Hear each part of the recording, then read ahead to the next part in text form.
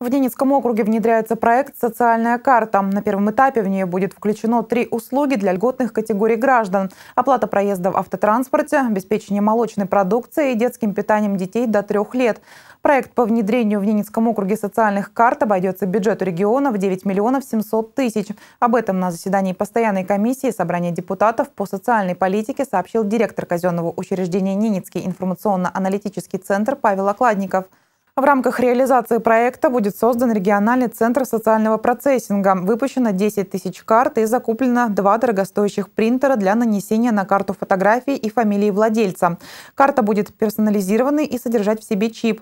Уже начиная с сентября-октября в карту будут интегрированы три услуги. Оплата проезда в автобусах для льготников, обеспечение молочной продукции детей до трех лет и обеспечение детским питанием детей до трех лет. То есть э, после выдачи электронного сертификата, э, электронной карты э, получателям услуг, э, они будут обращаться непосредственно в учреждение, которое будет, или организация, которая будет готова им предоставить данную услугу, после чего информация будет авторизовываться через как раз таки вот в правом стороне видно региональный центр социального процессинга, который в свою очередь будет аккумулирован и будет работать напрямую с э, базой данных, в котором будет храниться информация такая, как э, доступна ли эта услуга получателю ее, э, доступна ли она в каком объеме, в какие сроки и в какой период.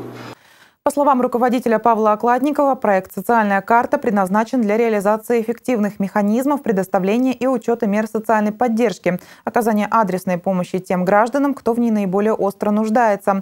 По мнению разработчиков, ожидаемый социально-экономический эффект от реализации проекта в округе составит порядка 50 миллионов рублей. Самое главное – введение этого продукта или, как здесь сказано, социального процессинга, новая такая для нас терминология, для кого-то, да, мы говорим о том, что прежде всего решается целевое адресное предоставление льгот, не менее важно это их учет, всех этих льгот. Ну и для кого-то это очень удобно, это автоматизация, конечно же, обслуживания льготного населения. В дальнейшем область применения карты будет расширена. Планируется включить дополнительные услуги. Среди них учет прохода школьника в образовательную организацию, получение льготных лекарств, пользование социальным такси, адресная материальная помощь на коммунальные услуги, социальные сертификаты на продукты и средства реабилитации.